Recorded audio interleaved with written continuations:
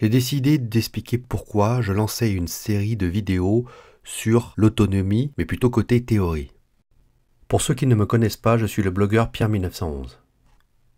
Depuis de nombreuses années maintenant, j'étudie des solutions autour de l'autonomie énergétique et alimentaire. Vous pouvez retrouver toutes mes expériences, les bonnes comme les mauvaises, sur mon blog www.pierre1911.fr.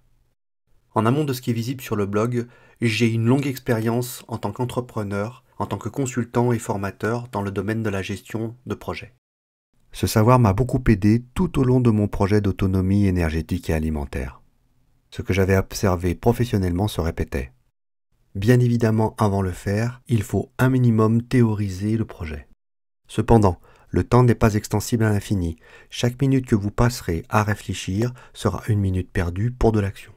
J'ai constaté que tous les acteurs d'une étude devait absolument maîtriser des concepts pour être efficient. Sans cette maîtrise parfaite, les études prenaient beaucoup plus de temps. Qu'à force de réflexion et d'itération, les idées fondamentales pouvaient être dévoyées.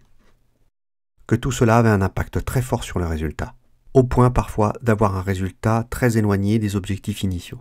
Je remercie toutes les personnes qui me posent des questions sur comment ils peuvent mener leur projet d'autonomie, quelle expertise je peux leur apporter pour les aider mais je dois constater, et avec beaucoup de frustration, que je ne suis pas en capacité à répondre à tout le monde, car chaque cas est individuel, et il me faudrait énormément de temps pour pouvoir répondre correctement.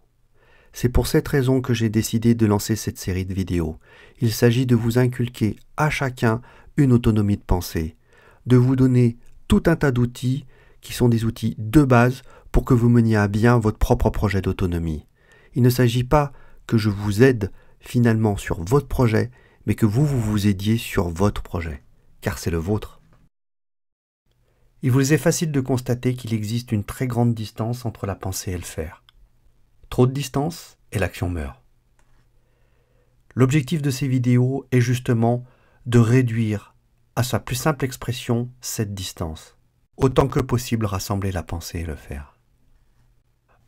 De les rendre itératifs l'un par rapport à l'autre, qu'ils s'alimentent qu'il crée ainsi le mouvement. Dans les épisodes, nous allons voir quels sont les fondamentaux, à savoir la symbolisation, les entrées-sorties, les besoins, la stratégie, les tableaux de bord, les matrices décisionnelles, l'argent, l'effet rebond, nos travers, etc., etc. Dans la mesure du possible, chaque point fera l'objet de simulation.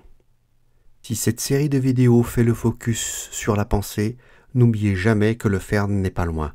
Il est omniprésent. Et c'est l'objectif final. À travers ces vidéos, mon objectif est que vous gagniez sur votre résilience. Votre résilience.